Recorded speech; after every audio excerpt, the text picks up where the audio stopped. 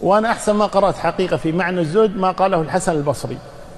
رحمه الله تعالى. قال الزهد أن تكون الدنيا في يدك لا في قلبك. بس هذا هو الزهد. الزهد أن تكون الدنيا في يدك لا في قلبك. لا تدخل إلى القلب هذه الدنيا. إن جاءت لا أفرح بها. إن ذهبت لا أحزن عليها. أبدا.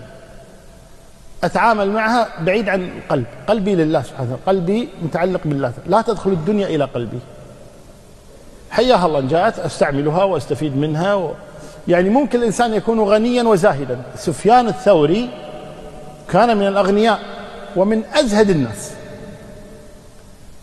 ولذا لما قيل له يا أبا عبد الله أنت يعني في الزهد من أنت؟ وعندك هذه الأموال؟ ما تركب.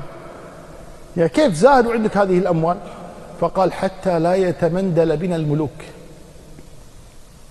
حتى لا يتمندل يعني لا يتخذون الملوك مناديل.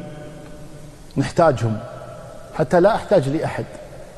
عندي مال يكفيني ما أحتاج لأحد فأضطر أني أتنازل عن ديني أو عن مبادئي أو عن كذا حتى أحصل شيئا من الدنيا. عندي الدنيا. الحمد لله. لكن على كتر. لا تدخل إلى قلبي. حتى لا يتمندل بنا الملوك.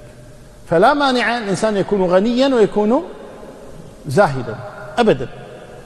لا مانع من ذلك. لكن عكس الزهد أن تدخل الدنيا إلى القلب.